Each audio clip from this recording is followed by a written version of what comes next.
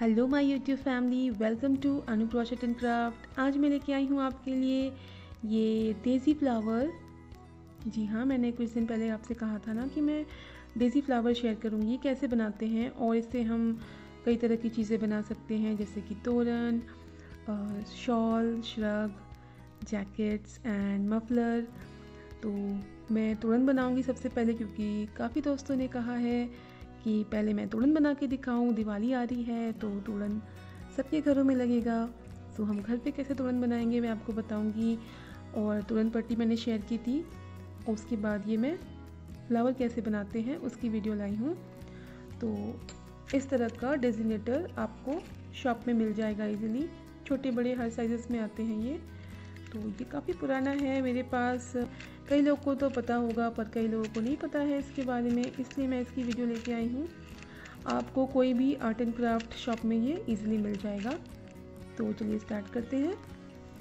हमें कोई सा भी वोल लग चलेगा इसमें, ये बनाने के लिए फोर प्लाई वोल या इसे मोटा वोल भी आप ले सकते हो, जैसा आपके पास अवेलेबल हो।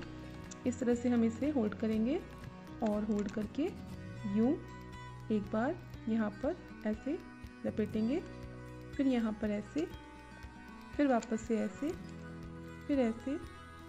ये तीन बार हो गया और ये हो गया चार बार।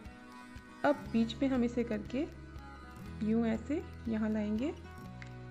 ऐसे एक, दो, तीन, चार। और फिर हम यहाँ आएँगे। एक दो, तीन, चार। इस तरह से हम पूरी रिंग को इस तरह से फिनिश कर देंगे। तीन, चार। तो हमें चार चार फेरा यूँ करके लपेटना है। तीन, चार। और बीच में ऐसे ऐसे होल्ड करना है ताकि ये इधर उधर ना हो जाए। तीन, चार। देखिए दोस्तों, पूरा मैंने लपेट लिया है। अब हम इसे कट कर देंगे। इतना लंबा कट करेंगे कि हम इसे सुई में पिरो के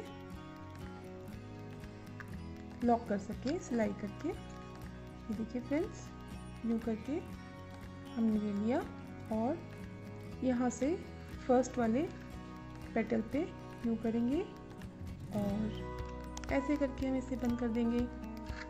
फिर यूँ करेंगे और इस ये देखिए फ्रेंड्स हम इस तरह से इसे लॉक करते जाएँगे। सभी साइड से न्यू बुल को ऐसे करके। आपके पास अगर नॉर्मल सुई हो तो आप उसे भी कर सकते हो प्लास्टिक की सुई हो तो उससे भी, कोई प्रॉब्लम नहीं है उसमें। ये काफ़ी इजी होता है यूज़ करने में, इसलिए मैं ये यूज़ करती हूँ। यूँ करके हम इसे हर साइड से लॉक कर देंगे। इस तरह से। अगर आपको समझ में नहीं आया होगा तो आप वीडियो को पॉज करके रिवाइंड करके फिर से देख सकते हो तो बहुत आसान होगा समझने में। फिर भी आपको समझ में ना आए तो आप कमेंट बॉक्स में कमेंट करके मुझसे पूछ सकते हो। मुझे बहुत खुशी होगी आपकी हेल्प करके। यूँ करके देखिए, अब ये लास्ट वाला पेटल हम इसे भी यूँ लॉक कर देंगे। और एक बार और इस तरह से हम इसे लॉक कर देंगे। अब हम इसे कट कर लेंगे यहाँ से। और इसे निकालने के लिए बस यूँ करना है। इस पर घुमा देना है और ये आ गया फ्लावर बाहर। ये देखिए फ्रेंड्स कितना सुंदर लग रहा है ये फ्लावर तो आप भी इस तरह से फ्लावर बना बना कर रखिए। फिर मैं आपको बताती हूँ कि इन्हें ज्वाइन कैसे करते हैं। ज्वाइन करके हम शॉल जैकेट टेबल मैट्स और तोरण किस तरह से बनाते हैं ये मैं अपनी नेक्स्ट वीडियो में लेके आऊँगी। और अगर आपको वीडियो अच्छा लगा हो तो प्लीज़ लाइक करना फैमिली फ्रेंड्स के साथ शेयर करना। मिलती हूँ आपसे अपने नेक्स्ट वीडियो में, तब तक के लिए stay safe happy and healthy thank you for watching